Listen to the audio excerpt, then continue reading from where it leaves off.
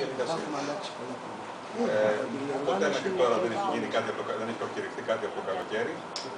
Και βέβαια σε συνεργασία με την ΕΣΑΠ για τις ημερομηνίες και τον τρόπο της εισαγωγής και όλα αυτά, είμαστε σε μια Στο συνεργασία. τελικό μπορεί να το βάλεις Θεωρώ ότι δεν οφείλαμε και να σου πω και από το καλοκαίρι και δεν έχει γίνει ποτέ αυτό το πράγμα να Γιατί είναι άλλο έχουμε παιχνίδι. προκηρύξει. Είναι ένα άλλο παιχνίδι. Κυπέλου.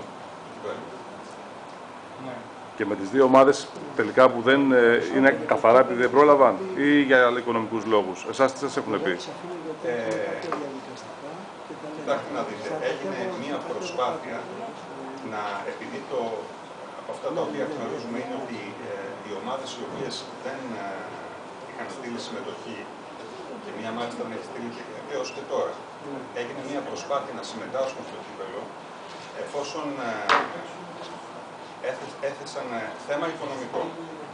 Ε, από τη στιγμή όμως που τέθηκε θέμα νομιμότητας, η Κεντρική Επιτροπή Πρωταθλήματος όφιλε πραγματικά να κάνει το αυτονόητο, δηλαδή να ε, δει ποιες ομάδες είχαν στείλει μέχρι και την Τρίτη και από εκεί και πέρα να προχωρήσει.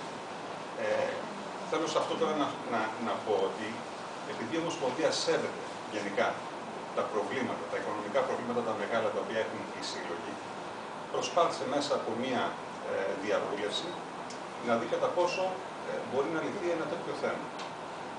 Ε, από εκεί και πέρα, αφού αυτό δεν κατέστη δυνατό, πλέον πήγαμε βάσει του, του νόμου.